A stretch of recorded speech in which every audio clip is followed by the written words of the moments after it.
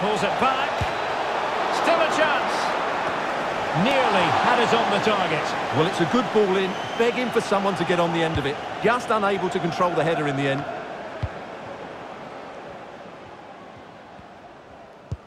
And a change to the scoreline at Carrow Road. Over to Alex Scott. This could be the equaliser. And it is the equaliser. Well, now, that could be a huge turning point in this game. They carry the momentum. Well, here it is again. It's a wonderfully weighted ball over the top. And then what a strike. The lovely half volley. It's so difficult to keep these down. This is a very tidy finish.